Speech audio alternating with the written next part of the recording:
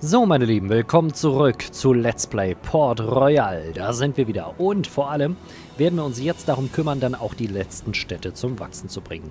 Sisal ist ja eine unserer Städte, wo wir eine Holzproduktion haben, aber Sisal würde ich ungern ausbauen wollen. Mehr Puerto Cabeza bzw. Bluefields, das sind ja die Städte, die jetzt schon mitunter am weitesten sind, was die Produktionen angeht. Und in Puerto Cabeza machen wir aktuell Seile, also wir nicht, sondern die anderen, obwohl es hier gar keinen Hanf gibt. Das wundert mich. Es gibt Ziegel, Obst, Kaffee und Kakao. Ziegel, ja, könnten wir ein paar mehr machen. Aber das von hier aus irgendwo hinzubringen, ist blöd. Ist echt blöd. Gibt es hier irgendwie irgendwo Metall, dass ich die Produktion von Metall noch unterstützen kann? Hier schon mal nicht. Vielleicht in Kauita? Ja, da gibt es Metall, wenn auch nicht viel. Aber es wird hier nicht produziert. Sieht schlecht aus. Wo sind meine Schiffe eigentlich? Du bist unterwegs nach Kumana. Und du bist in Valladolid? Nein, du bist... Da bist du. Noch unterwegs mit Holz und Rum. Wofür auch immer. Du willst nach Belize. Ah, Steine holen, genau. Denn wir müssen uns beeilen, wir müssen das ein oder andere fertig bauen und vor allem Sevilla am meisten ausbauen. Das bedeutet, hier muss noch mehr Produktion mit hin, hier müssen mehr Wohngebäude mit hin und am Ende natürlich dafür äh, gesorgt werden, dass 6000 Bürger hier sind.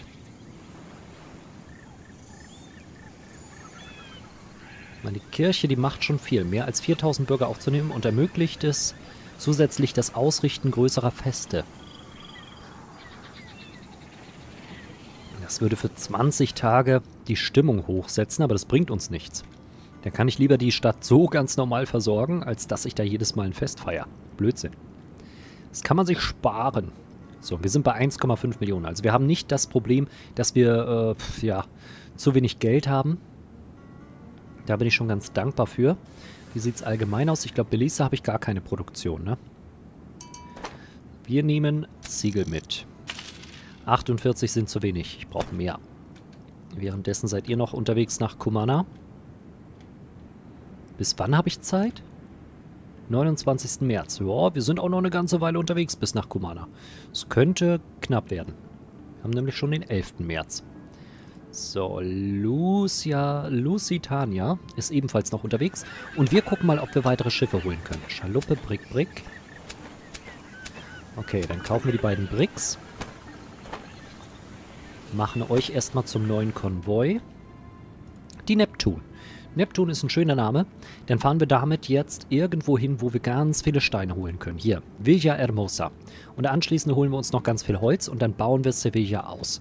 Dann machen wir das zu einer der größten Städte überhaupt. Zu wenig Steine auf der Welt. Die Neptun wird voll beladen mit ganz, ganz vielen Steinen. Wollt ihr Rum haben? Ja. Na dann verkaufen wir euch doch den Rum. Dann kann ich noch mehr Steine aufnehmen. Oder auch nicht. Wenn ihr einfach zu wenig habt. Gott sei Dank ist das andere Schiff gleich in Villa Hermosa. Ach. Ich krieg keine Steine. Es ist zum Heulen.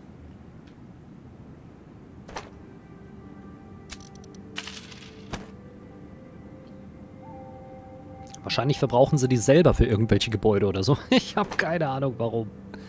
Ah, 68, viel zu wenig. Wie sieht's aus in Villa Hermosa? Oh, oh, oh. 240 Steine, das wird uns sehr viel sichern.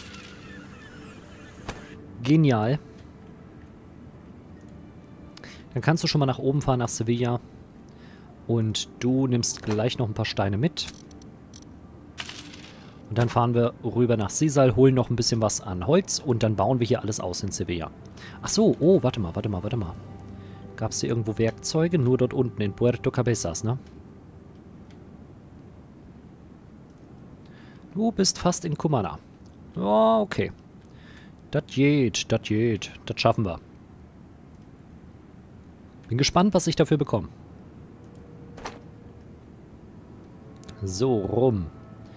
Wird ein bisschen verkauft. Steine braucht ihr nicht, Holz braucht ihr. Oh ja, und das gar nicht knapp. 118 Holz. Dann können wir jetzt hier erstmal alles weiter ausbauen. Das heißt, wir bauen jetzt weitere Produktionsbetriebe. Für Rum nicht unbedingt. Für Stoffe. Webereien könnten wir hier gebrauchen und anschließend sogar noch Klamotten herstellen, aber ich habe keine Punkte mehr dafür. Und für die Klamotten brauche ich auch, wartet mal, den Baumeister. Um hochwertige Waren zu errichten. Kostet ebenfalls Werkzeug. Wie sieht's aus mit Werkzeug? 71, jo, das geht. So, dann dürfen wir jetzt hier nämlich auch Schneidereien mit hinstellen und äh, Möbel und so weiter. Also wir dürfen selber die Klamotten fertig bauen. Schneiderei. Hier hätten sie die Waren, die Baumwolle und sogar Zugang zu den Leuten. So, und dann die Schneiderei selber. Okay. Das lohnt sich wenigstens. Und wir werden noch sehr viel mehr los. Ah, John Hawkins ist da. Das heißt, wir werden jetzt noch ein bisschen was an Essen brauchen. Bier können wir auf jeden Fall mitbringen. Die Enterprise fährt schon mal los, holt jetzt erst einmal weitere Steine und Nun, das Werkzeuge. war recht erfolgreich. Falls euren Arbeitern jetzt das Brot fehlen sollte, ihr habt doch bestimmt noch etwas Kuchen herumliegen. Diesem Hawkins muss das Handwerk gelegt werden. Rüstet einen Konvoi aus und begebt euch auf die Jagd. Ich will ihn noch nicht kaputt machen. Ich habe doch noch gar nicht so viel. Ich habe nicht mal einen ordentlichen Piraten. Verdammt, noch eins. Äh, Piraten sei schon. Kapitän. Ich brauche noch mehr Ruhmpunkte dafür. Das heißt, wir müssen nebenbei auch noch ein paar Aufträge erfüllen. Deswegen sind wir eigentlich hier gewesen, ne? Auftrag erfüllt. Der Schiffsbrüchige geht von Bord und ist froh, endlich wieder festen Boden unter den Füßen zu haben. Es dauert nicht lange, da erscheint der Bürgermeister an deinem Konvoi, um sich dafür zu bedanken, dass du seinen Schwiegersohn gerettet hast. Er schenkt dir außerdem eine Baugenehmigung. Oh, ganz toll. In Kumana. Was soll ich denn in Kumana mit einer Baugenehmigung? Mal ganz ehrlich, ich nehme jetzt ein paar davon mit. Ein paar mehr ruhig. Auch noch ein paar Törtchen, wenn auch nicht viele. Wenn wir schon mal hier sind, können wir auch nochmal ordentlich zugreifen bei dem, was hier produziert wird. Und wir nehmen Leute mit. Sind aber nicht viele da. Dann fahren wir schnell nach Maracaibo. Holen da noch ein paar Leute. Und in Maracaibo möchte ich gerne gucken, ob die hier Galeonen oder sowas haben. Nein, haben sie nicht. Oh, warum? Ist doch fies.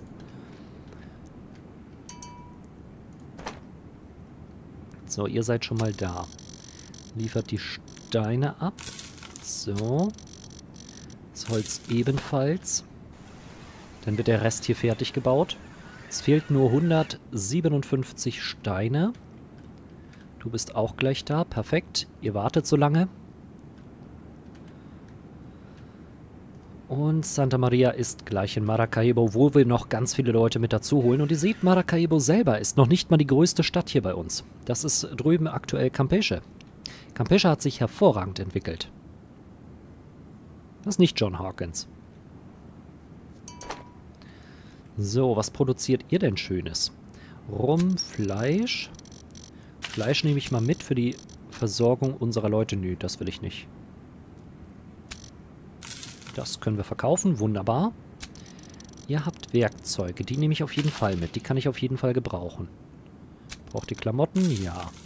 Braucht ihr Luxuswaren? Ja. 500 Leute haben wir dabei. Dann fahren wir wieder nach oben.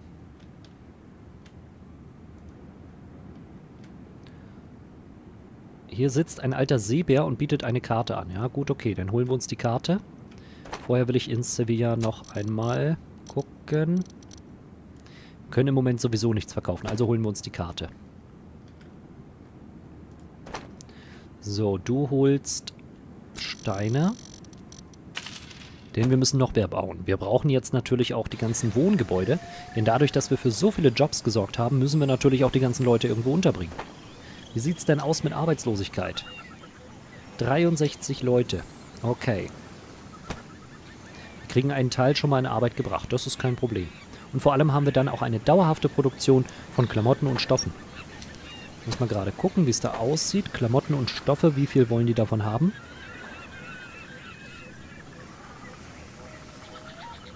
Noch gar nicht so viel, aber die Stadt ist auch noch nicht groß genug. Sie ist jetzt gerade mal auf Stufe 2 und die Einwohner sinken ab, was mir überhaupt nicht gefällt. Davon Arbeiter 515. Warum?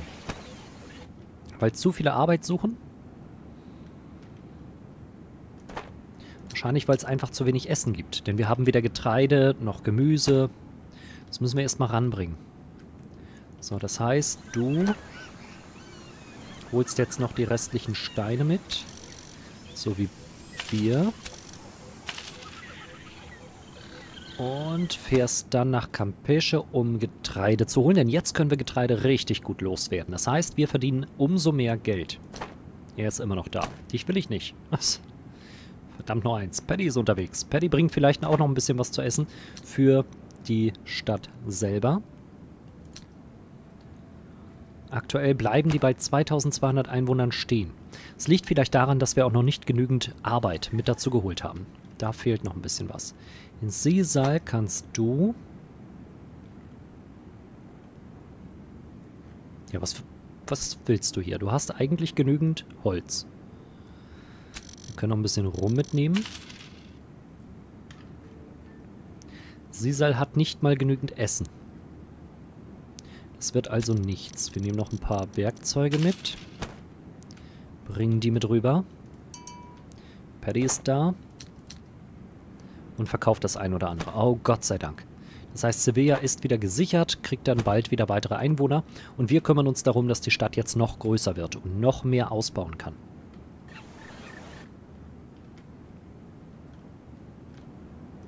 Und die kommen aus Maracaibo und bringen ganz viele arbeitssuchende Leute. Über 500 arbeitssuchende Leute haben wir mit dabei, die wir dann hier mit einsperren können und die für uns dafür sorgen, dass A, neue Leute mit dazukommen. Oh, Ruhmpunkte halten, Gott sei Dank. Willkommen. Dann können wir uns endlich ein Schiff leisten. Ist das schön. Also den Rest werden wir jetzt erstmal nicht erforschen, solange bis wir genügend Ruhmpunkte haben. Die Neptun, die Santa Maria. Ist das schon fertig gebaut? Nö, immer noch nicht. So, du kaufst bitte ganz viel Getreide und bringst das dann rüber nach Sevilla. Gucken wir mal, ob hier weitere Schiffe zur Verfügung stehen. Nein, keine Schiffe. Uh, Im Moment ist alles leer gekauft. Wir brauchen die große Werft, wir brauchen die Möglichkeit, hier natürlich auch die großen Schiffe zu bauen. Konzessionen haben wir dafür nicht. Aber um John Hawkins kaputt zu machen, ist das die einzige Möglichkeit.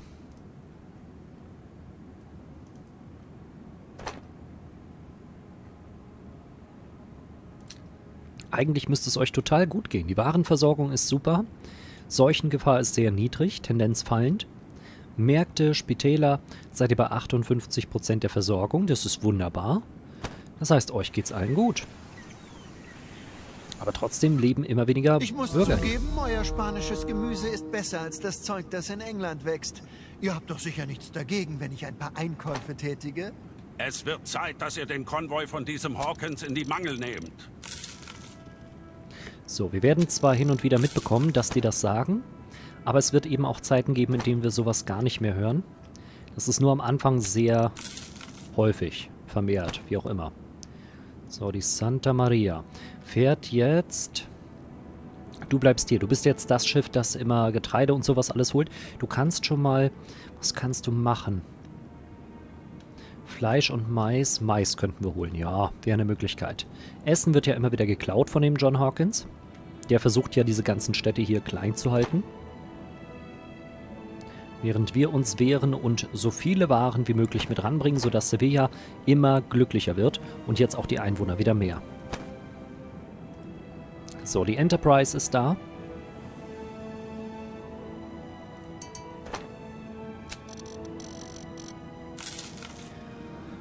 Guti, es fehlt noch Gemüse, aber das ist okay. Und wir können jetzt wieder bauen. Gucken wir mal, was wir bauen. Erstmal brauchen wir weitere Wohngebiete. Und zwar dort, wo sie vonnöten sind. nicht so viele böse Betriebe um sich herum haben. Wenn ich ein Spital bauen möchte, würde das nur die drei hier unten glücklich machen.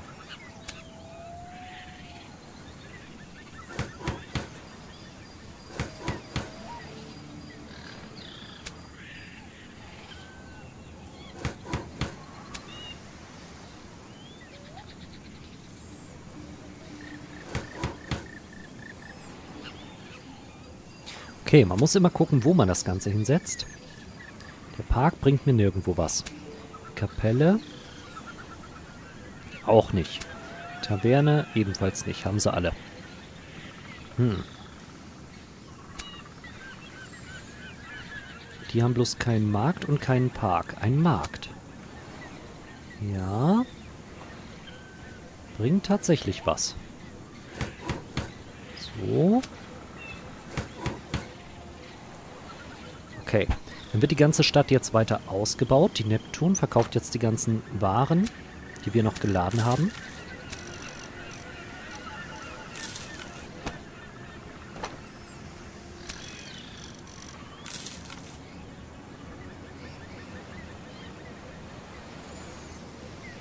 Werkzeuge fehlen. Ja, wir haben sehr viele Werkzeuge verbaut, das stimmt. Sieben Stück und 106 Steine.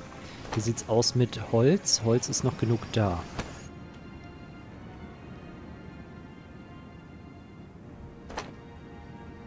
Steine sind auch immer noch genug da.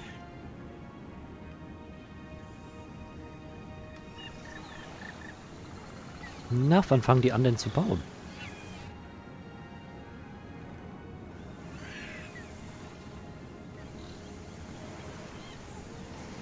Es fehlt doch alles gar nicht mehr. So. So. Das war jetzt die Enterprise. Dann haben wir noch die Neptun.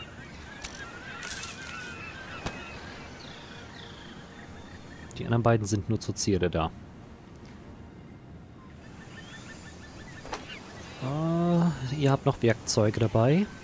Ach, die wurden schon gebracht. Das ist gut. Dann wird jetzt alles gebaut, außer einem Wohngebiet. Das kommt später. Okay. Dann haben wir hier schon mal für ein großes Wachstum gesorgt.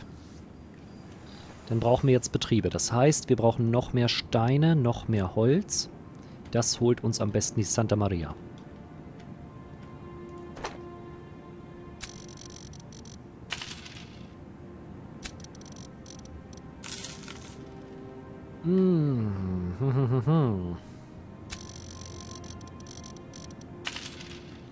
Bisschen Mais ist nicht verkehrt, wird ja sowieso immer wieder geklaut, Essen.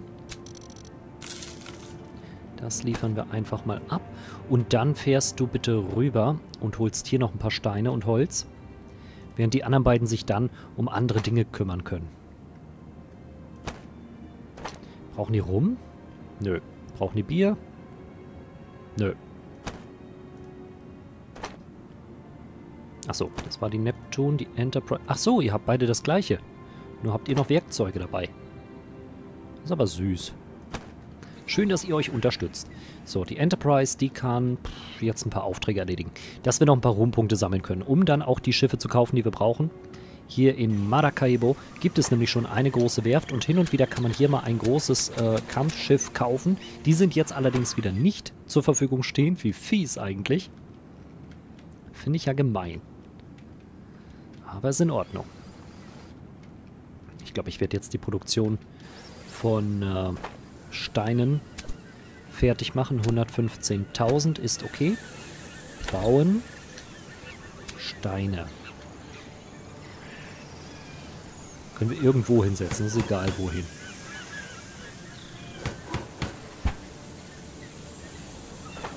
So, Steine habt ihr genug. Holz hat euch gefehlt. Holz kann ich bringen, ist kein Problem macht die Santa Maria.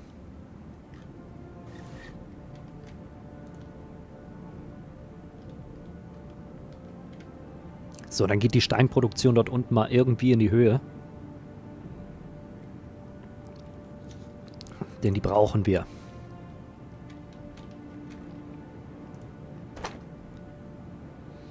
Hm, Steine. 161. Holz kriegen wir von woanders. Dann sind wir bei 188. Das wird reichen für das ein oder andere an Betrieben. Dann holen wir jetzt noch ein bisschen Weizen dazu. Die Neptun guckt mal, was brauchen wir sonst noch? Gemüse ist klar. Gemüse werden wir so schnell nicht kriegen. Baumwolle ist genug da.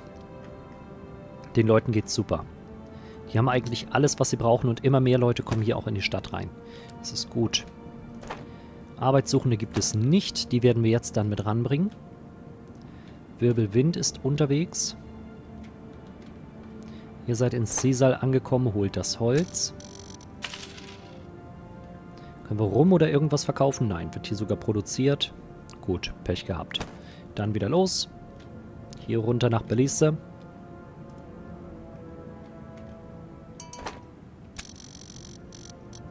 Oh ja, Getreide wird auch immer weniger. Bier brauchen wir gar nicht so viel. Und dann holen wir jetzt anschließend auch noch Holz.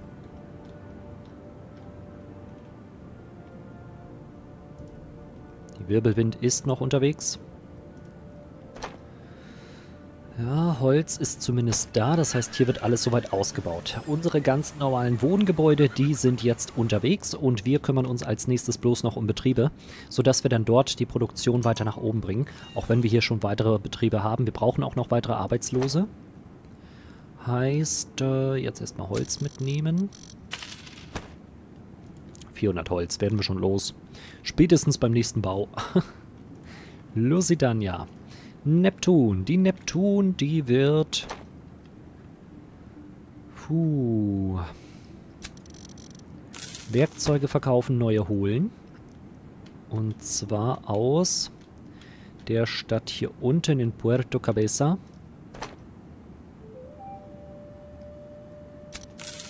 Kauf doch mal das Holz. Wirbelwind freut sich, kann das Holz verkaufen und wir freuen uns auch, weil dann unsere Steinproduktionen bald beginnen können.